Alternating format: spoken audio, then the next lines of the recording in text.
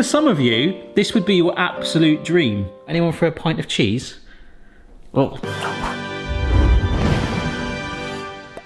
Hello everyone, it's Barry here. Hope you're well. Uh, welcome to our kitchen. I don't know what that was, sorry. But today we are doing another recipe on the Barry Tries playlist, part of the playlist where I try uh, viral recipes from chefs, uh, blogs, uh, famous platforms. We've done quite a lot of TikTok ones recently here, but there was one in particular, a company called Chef What's it called? I know them because they do these really weird videos. Chef Club. Now, if you're into food, you have probably seen one of their videos. Right, so this is what we're doing today. That looks like a block of puff pastry, but no, that is blocks of cheese on puff pastry. You know how much I hate cold cheese. But basically, we are gonna make something apparently called cheese pillows. In summary, we core out a whole block of cheese. The core we reuse and melt up with onions and bacon and parsley and macaroni which is already cooked, so we're gonna pour that in there now. And apparently it gets baked with an egg on top. It looks incredible. So it's gonna go from this thing for me that I'm gonna be like really like, oh my gosh, what is this? It's actually gonna have kind of like a crazy ashtray shape that we're gonna like fill with this epic filling. So for me, it's gonna go from this weird cheesy ashtray, solid slab of cheese, which I hate, but then as it melts and bakes through, kind of like fondue itself, sort of in the pastry with this epic filling that is then topped with an egg. I'm really, I don't, I really think this is going to be good. If this does work out quite well, I've had so many requests to do a recipe by these folks over the years that I've, it does. We will probably try one of their more grotesque desserts because they actually they are like obscenely bad. I was looking last night and I was getting a sugar high just watching the video. So we'll see how this goes. I fancy something savory today and I think it's going to be a winner. We must now start and focus on making the pillows. This is a test today. We did the hot chocolate machine recently and you didn't get out of your bed. We have bacon today. But here we go. We have got a sheet of ready-made puff pastry. Okay, and I don't know, this might be enough to do the two, but we'll just play it safe, I think. I think it will, you know. I bought some quite small blocks of cheese. Speaking of which, I'm gonna get one of the blocks now. All right, so it's called cheddar cheese uh, pillows, but I wanted to get some red Leicester, some cheese that would stand out a little bit more for you. And apparently we stick it roughly in the middle here. Do you like cheese, Boston? Is that it, right? you like cheese, do you? All right. this is the part that worries me is we have to core this middle part out and reuse the cheese. And actually a pint glass is almost the perfect size to leave Oh my gosh. Oh, I have to really put, see, this is my fear. See, that is starting to crack. Oh no. I should, oh, here we go, look. I've got a sort of circle here, but look, it's completely dismantled it. I have managed to salvage it, but that is the thing a bit like the hacks videos, these videos generally, it's like, is this actually true? Take a diagonal incision into the puff pastry. So if I show you from this side first, lift it over and tuck it in to encase it. Oh look, that's actually wrapped around nearly all of it there. Press it in to form that cavity, okay. And then this bit here can wrap around that side, okay. The most important thing is to make sure all of that cheese is hidden. Merge it together, so bond any of those joints and really shape it and press it in so it's kind of like one big piece. We can tidy it up too, so let's just take these bits off but I really like that. From when we were cutting the cheese out a moment ago and it broke the surrounding barrier or walls, this is kind of like just blanketed it and kept it all together to hold that shape, which of course, hopefully, will melt later anyway. Just one little check around the edges because a few little gaps don't want any of that cheese escaping. It's basically like Play-Doh right now. I'm gonna do another one, but the other cheese that I've got, the cheddar, has been at room temperature. no, For some of you, this would be your absolute dream. Okay, now I've done that a second time, that was way easier and it looks a little bit neater. There we are, beautiful. so we've got one cheddar and one red Leicester, kind of empty pillow. I mean, I'm more calling them cheese ashtrays than pillows, but we'll go with it. Anyhow, anyone for a pint of cheese? Oh. But yeah, now we've got these middle parts, we might as well just cut them up a little bit into chunks because that is gonna get melted with this. Four rashers of bacon chopped. You also need one red onion, and I have genuine onion tears right now. I tried sticking my tongue out, which some of you guys have told me helps. Uh, maybe a smidgen of oil just to get it going as well. Ooh.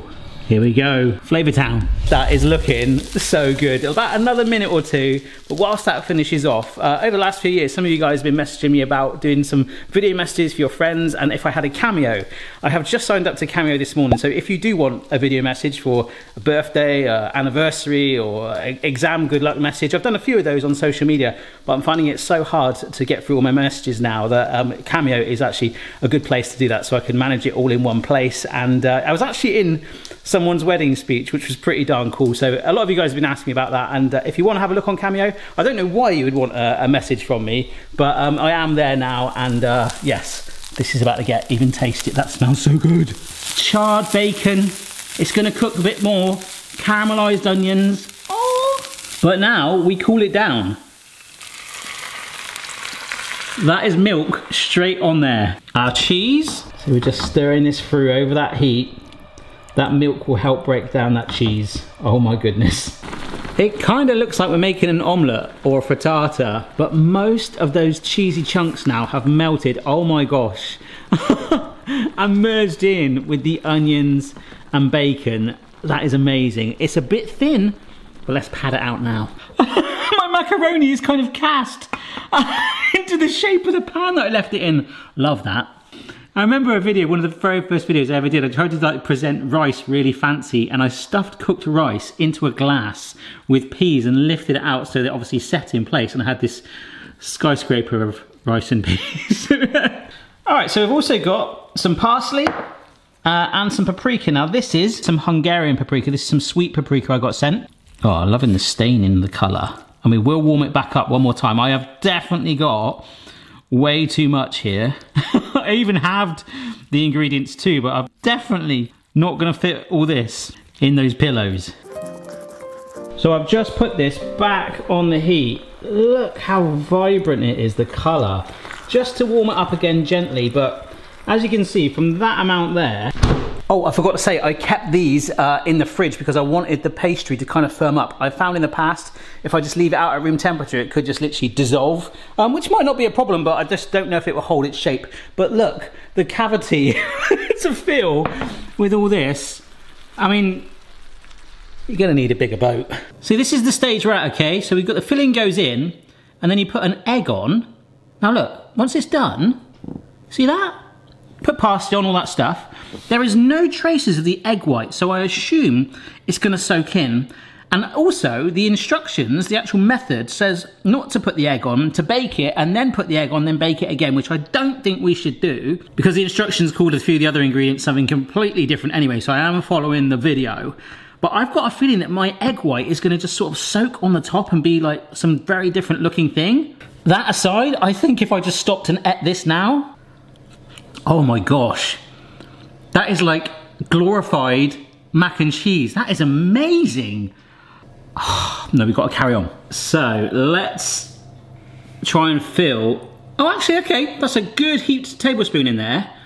And it's gone about halfway. See that? Like two big old tablespoons of that filling. And I'm just gonna try and make, actually with the back of the spoon might do it, but I can poke a little hole here for the egg yolk to sit on. Here we go crack the egg on. Oh my gosh, see, look at that egg white. Poke it around a little bit.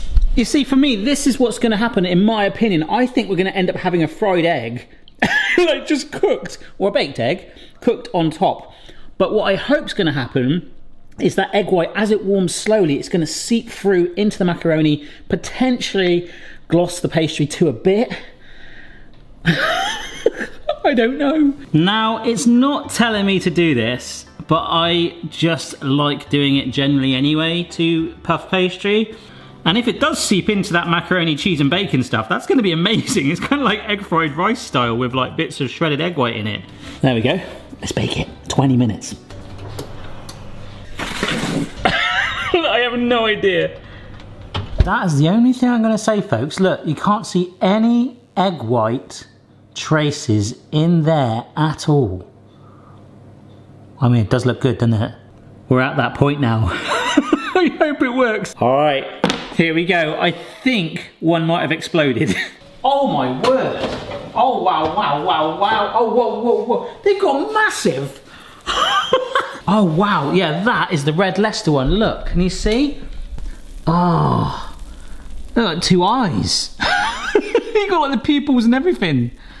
I am so glad I gave that an egg wash though, because I think that would look pretty bland without it. Oh, wow. Oh, right.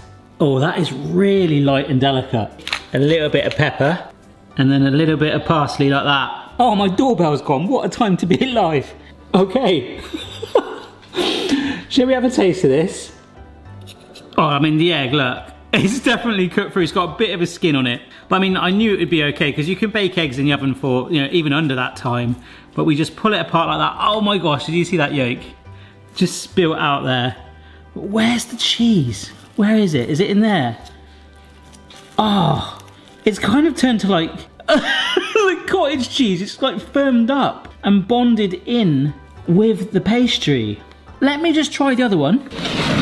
Let's see if this one has oh look there's that cheese in there you can see it but it's it's not gooey it's kind of like not curdled but held its shape you can bring it all together like that with the egg yolk but it just kind of oh here we go there's a bit of a cheese pool but it's much firmer actually it's almost more like a paste which if you look look at that I don't know. See, I, it was kind of there. You're getting a little bit, but they weren't showing a huge cheese pool. But hey ho, I've got this one here now, so I might as well.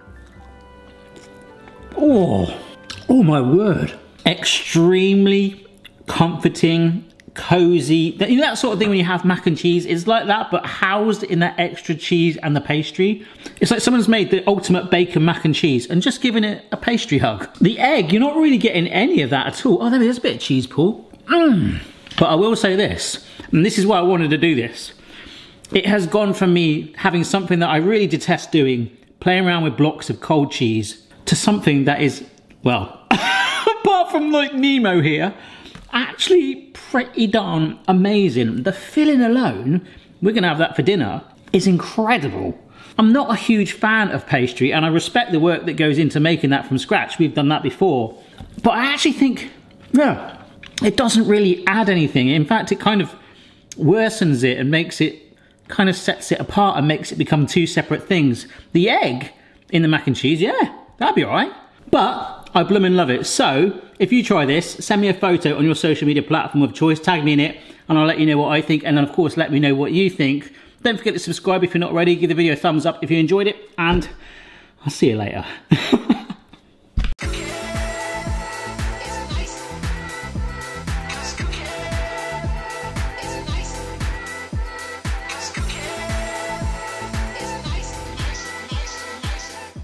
Folks, I'm just editing this video right now, but I just want to add this on the end. Can we just all agree that there is nothing pillowy about this recipe at all? A block of cheese puff pastry wrapped ashtrays is a much better description. Remove the puff pastry, phenomenal. Pastry, yeah, I've been having some indigestion since eating it. Up to you.